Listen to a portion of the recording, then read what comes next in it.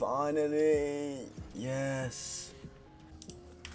Yo guys, what's going on? It is me, KRV, and in today's video, I'm going to be talking about on how to actually get the Sledgehammer Diamond or Dark Aether or whatever the quickest. So, basically, I have it right now as the Diamond camo just because it looks more cooler in my opinion. It's just like, you got the actual diamonds on the head, and then you got the nice little handle was nice like pinkish purplish type thing.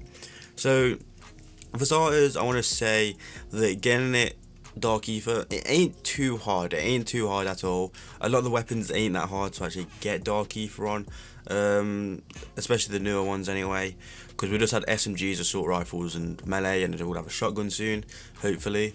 But um, with the melee, it's kind of difficult. It's it's in the middle. It's in the middle. So it's difficult, but not at the same time. So the difficult part is mainly just leveling it up.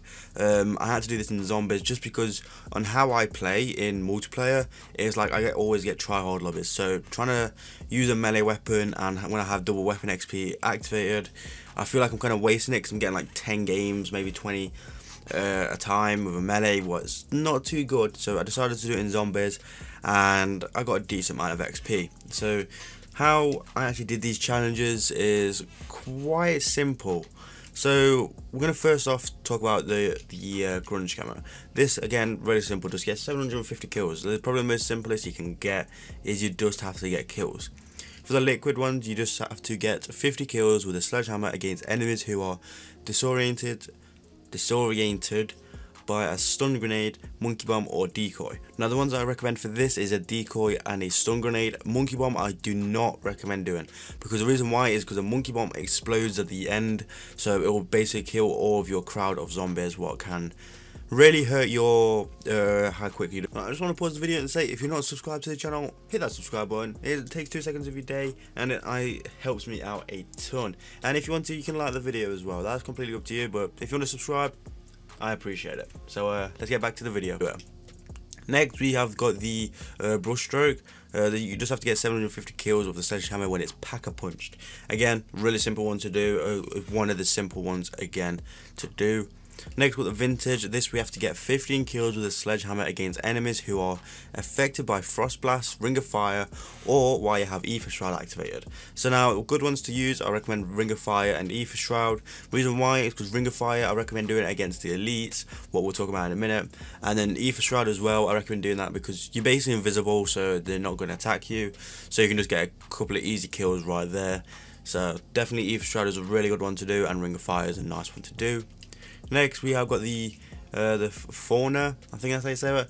But this basically just have to get elite kills, 10 elite kills. Uh, again, you can use the Aether Shroud ability to do this so you're invisible so the uh, Megaton doesn't uh, target you. Or you can use Ring of Fire so you can like get it in like two hits. So really want to really easy one to do. Now you can do this either in solo so it has less health. I believe it has less health anyway. Or you can do it in multiplayer where they spawn in more. If you didn't know, they spawn more uh, megatons in MP games. So if you even if you just private match with two people, you'll get more megatons than you do solo. So yeah, uh, you, there's two ways there. You can do it solo where it's kind of easy to kill them, or you can do it with uh, multiplayer with where they spawn more. Up to you. So next we have to get 10 kills rapidly 10 times. You'll get this naturally just trying to get kills anyway. So when you're probably doing these challenges or these ones, you'll get them just naturally anyway. Now this one is the hardest challenge set to do, uh, especially for melee. Like when it's just like ARs or SMGs or something like that, it is easy. But this one for melee is the hardest in my opinion. Reason why is we have to get 20 or more consecutive kills with the sledgehammer without getting hit. So we have to not get hit with the sledgehammer, but we have to get 20 kills in, in that process. Uh, we have to do this 10 times, so we have to get about 200 kills without getting hit. Now, what I recommend for this is just by doing, uh, going to round from 1 to 7 and then leaving at round 1 to 7 or you can just down yourself whatever you want to do whatever you're comfortable with uh, I just left the game now what I recommend is just basically, yeah, like I said, going around 1 to 7.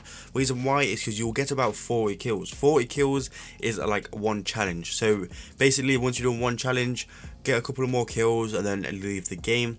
And then, uh, yeah, 40 kills without getting hit is a lot more easier. That's why I did round 1 to 7. This was solo anyway, so if you're doing it in public, you can probably get more anyway. Uh, also, what I recommend is try and um, not rush yourself with this. Try not rush. Just be patient with it. It really helps just be patient. It if you're rushing this, you're gonna get hit loads of times.